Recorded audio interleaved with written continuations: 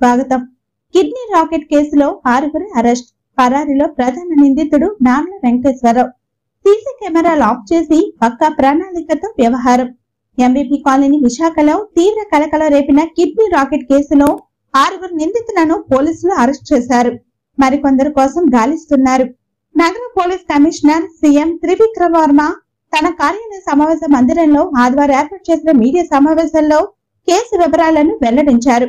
ఆయన కథనం ప్రకారం పెందుర్తి బాంబే కాలనీకి చెందిన జి వెన్నెల కుమారుకు కిడ్నీ దానం చేసి ఎనిమిది లక్షల యాభై వేల రూపాయలు ఇస్తామని కొందరు ఆశ చూపారు. దానికి సంబంధించి వెన్నెల కుమార్ క్లినికల్ పరీక్షలకు ట్రాన్స్ప్లాంటేషన్ ఆపరేషన్కు హాజరయ్యారు. అనంతరం అతనికి ఐదు లక్షల రూపాయలు ఇచ్చినట్టు చూపించి రెండు లక్షల యాభై వేల రూపాయలు మాత్రమే చెల్లించి మోసం చేశారు. దీంతో బాధితుడు ఏప్రిల్ ఇరవై ఆరున పెందుర్తి పోలీసులకు ఫిర్యాదు చేశాడు. వ్యవహారం సాగిందిలా. కారు డ్రైవర్గా పనిచేస్తున్న వినర్ కుమారుతో బాంబే కాలనీకి చెందిన శ్రీను అతని భార్య కొండమ్మ కామరాజు ఎలీనా పరిచయం పెంచుకున్నారు. వారంతా వినర్ కుమార్ను కిడ్నీ ఇవ్వడానికి ఒప్పించి మహారాణిపేటలో ఉంటున్న నార్ల వెంకటేశ్వరరావుకు పరిచయం చేశారు. ఈ క్రమంలోనే విజయ డయాగ్నోస్టిక్ సెంటర్లో ల్యాబ్ అసిస్టెంట్గా పనిచేస్తున్న శేఖర్ తప్పుడు పత్రాలు సృష్టించాడు. క్లినికల్ టెస్టులు అక్కడ కొన్ని చేయించాడు. మిగిలిన వాటిని అపోలో ఆసుపత్రిలో చేయించారు. అనంతరం నాన్న వెంకటేశ్వర అనుచరులు రమేష్ పవన్ గతేడాది సెప్టెంబర్ అక్టోబర్ మధ్య కాలంలో పెందుర్తి వద్ద ఉన్న తిరుమల నర్సింగ్ హోమ్లోని డాక్టర్ పరమేశ్వరరావును సంప్రదించారు. ఆసుపత్రిలోని రెండు అంతస్తులో ఉన్న ఆపరేషన్ గదిని యాభై వేల రూపాయలకు వార్డు రూమ్ను పదివేల రూపాయలకు అద్దెకు తీసుకుని అక్కడ సీసీ కెమెరాలో పనిచేయకుండా చేశారు. తొలిత పరీక్షల అనంతరం వినర్ కుమార్ కిడ్నీ ఇచ్చేందుకు విముఖత చూపుతూ హైదరాబాద్ వెళ్ళిపోగా అతన్ని బెదిరించి బలవంతంగా విశాఖకు రప్పించారు. పెందుర్తి తిరుమల హాస్పిటల్లో డిసెంబర్ మూడో వారంలో కిడ్నీ మార్పిడి చేశారు.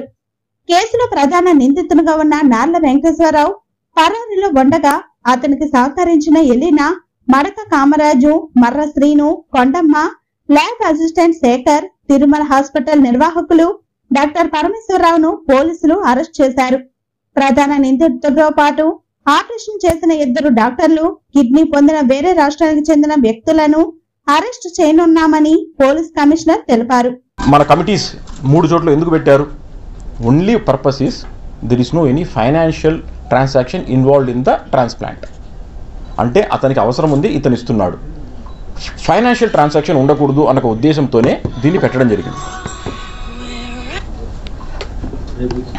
తర్వాత రెండవది చిటాలు కడావర్ ట్రాన్స్ప్లాంట్. కడావర్ ట్రాన్స్ప్లాంట్ అంటే మనందరికీ తెలుసు చనిపోయిన వ్యక్తి దగ్గర నుంచి ఎనిమిది అవయవాలు మనం స్వీకరిస్తాం. రెండు కళ్ళు రెండు లంగ్స్ రెండు కిడ్నీస్ ఒక హార్ట్ ఒక లివర్ ఈ ఎనిమిది పార్ట్స్ మాత్రం మనం తీసుకుంటాం. అది సీరియల్ లిస్ట్లో ఎవరు టాప్లో ఉంటే ఏది అవసరం ఉంటే ఎక్కడ ఉంటే దాన్ని బట్టి సీనియారిటీ ప్రకారం దాన్ని హాస్పిటల్స్ తీసుకుంటారు. ఇది కడావర్ ట్రాన్స్ప్లాంట్. ఈ కిడ్నీ ట్రాన్స్ప్లాంటేషన్కి వచ్చేటాలకు ప్రతిరోజు మన రాష్ట్రంలో ముప్పై నుంచి నలభై కిడ్నీ ట్రాన్స్ప్లాంట్స్ జరుగుతుంటాయి. విశాఖలోనే రెండు నుంచి ఐదు ట్రాన్స్ప్లాంట్స్ పర్ డే జరుగుతాయి. ఇది ఏదైతే మనము ర్యాకెట్ ర్యాకెట్ అంటున్నామో ఇది ప్రతిరోజు జరిగేది. ట్రాన్స్ప్లాంట్స్ బంధువుల మధ్యలో జరిగే ట్రాన్స్ప్లాంట్స్ ఎవరైతే క్రానిక్ రీనల్ డిసీజ్ సఫర్ అవుతున్నారో తన బంధువులు ఇస్తున్నారో అది ట్రాన్స్ప్లాంటేషన్ జరుగుతుంది. అది ఎయిటీ టు నైంటీ పర్సెంట్ జరిగితే ఒక టెన్ పర్సెంట్ మాత్రమే ఈ యొక్క ఇల్లీగల్ ఫైనాన్షియల్ ట్రాన్సాక్షన్ ద్వారా జరుగుతుంది. సో ఈ సిస్టమ్ మీరు అర్థం చేసుకోగలిగితే విశాఖ కేంద్రంగా ర్యాకెట్ జరుగుతుంది అని కొన్ని పత్రికల్లో వస్తున్నాయి. ఇదే కిడ్నీ రా కిడ్నీ ర్యాకెట్ ఏప్రిల్ ఇరవై ఆరో తారీఖున చండీగఢ్లో జరిగింది. పదహారు మంది విక్టిమ్స్ వచ్చారు. ఏప్రిల్ ఇరవై రెండున ఢిల్లీలో జరిగింది. యూపీలో జరిగింది. వాళ్ళు కిడ్నీ ర్యాకెట్ బస్టర్డ్ అంటారు. ఎందుకంటే ఒక టెన్ పర్సెంట్ మనం చూస్తున్నాం కాబట్టి ఇవి జరుగుతుంది. నైంటీ పర్సెంట్ ఎవరైతే రిక్వైర్మెంట్ ఉన్నాయో వాళ్ళకి జరుగుతుంటుంది. విశాఖ కేంద్రంగా ఇది నడుస్తుంది అని చెప్పడం కరెక్ట్ కాదని నా భావిస్తున్నాను ఎంతోమంది అవసరాలకు ఉన్నాయి ఎంతోమంది ఇవ్వడానికి రెడీ ఉన్నారు. వాళ్ళ బంధువులు వాళ్ళ వాళ్ళకి ఇచ్చుకుంటుంటారు. ఎవ్రీడే మన ఊర్లోనే రెండు నుంచి ఐదు జరుగుతుంది. సో దయచేసి ఈ యొక్క ఫ్యాక్ట్స్ తెలుసుకుంటే మనము ఇంకొంచెం క్లారిటీతో మనం మాట్లాడదు సరే మనము ఎవరైతే విక్టిమ్ ఉన్నామో విక్టిమ్ దగ్గర నుంచే స్టార్ట్ చేద్దాం. తల్లి వచ్చేసేసి హోటల్లో పనిచేస్తుంది ఆవిడ. తండ్రి వచ్చేసేసి సెక్యూరిటీ గార్డ్గా పనిచేస్తాడు. అప్పుడప్పుడు ఆరోగ్యం బాగా కారణంలో ఇంట్లో ఉంటాడు. ఈ అబ్బాయి కూడా కొన్ని సప్లయర్స్ సత్యం సప్లయర్స్ అని చెప్పేసి సప్లయర్స్కు వెహికల్ డ్రైవర్గా ఉండేవాడు. ఇతనికి ఎవరితో పరిచయం లేదు. అంటే అదే ఏరియాలో ఉంటారు కానీ పరిచయం లేదు. ఇద్దరు మనం చూపిస్తాం ఇప్పుడే. అలియానా కామరాజు అని చెప్పి ఉన్నారు. ఇతను సీను అని చెప్పేసి ఒక డ్రైవర్ దగ్గర యాక్సిడెంట్ జరిగిందని చెప్పి అతని దగ్గరికి వెళ్తాడు. ఏదో ఫ- సీను అనే డ్రైవర్కి యాక్సిడెంట్ జరిగితే ఆటో సీను అని పెయింటింగ్ కూడా వేస్తుంటాడు. అతన్ని కలవడానికి వెళ్తాడు. అప్పుడు ఏదర్ రిక్వెస్ట్ వీళ్ళ దగ్గర నుంచి ఉండొచ్చు ఏదర్ రిక్వెస్ట్ అక్కడి నుంచి వచ్చి ఉండొచ్చు. అది మనకు ఎందుకంటే ఎవరు క్లారిటీ చెప్పలేదు. సో అక్కడ ఈ యొక్క సీను ఈ ఇలియానా తర్వాత కామరాజు అనే ఇద్దరిని పరిచయం చేస్తారు సో వీళ్ళిద్దరి మధ్యలో మాట జరుగుతుంది.